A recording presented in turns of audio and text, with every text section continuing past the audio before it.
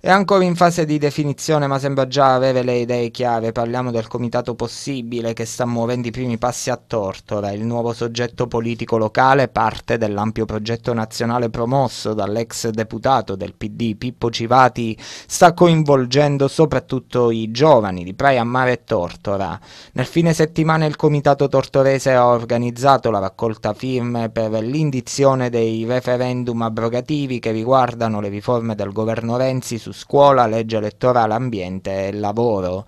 Nello specifico i cittadini sono chiamati ad esprimersi su otto quesiti tra cui l'eliminazione delle chiamate dirette dei docenti da parte dei dirigenti scolastici, i licenziamenti illegittimi e il carattere strategico delle trivellazioni in mare ma al di là dei referendum l'occasione è stata propizia per scendere fra la gente, laddove il comitato possibile, Tortora, Praia a Mare, vuole agire. Il primo obiettivo reale è portare i giovani a riscoprire il fatto che la politica è una bella cosa e non vuol dire semplicemente accordi, trame, cose alle quali oggi le persone associano naturalmente la parola politica.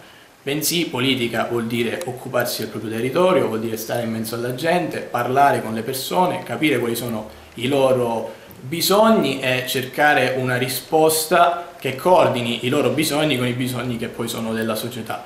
E per farlo noi abbiamo messo insieme un gruppo di ragazzi giovani, altri ancora spero saranno interessati ad unirsi a noi, siamo su Praia e Tortora con questo nuovo comitato dell'Associazione Possibile lanciata da Pippo Civati a livello nazionale. Anche nei prossimi giorni ognuno potrà firmare i moduli nel proprio comune di residenza.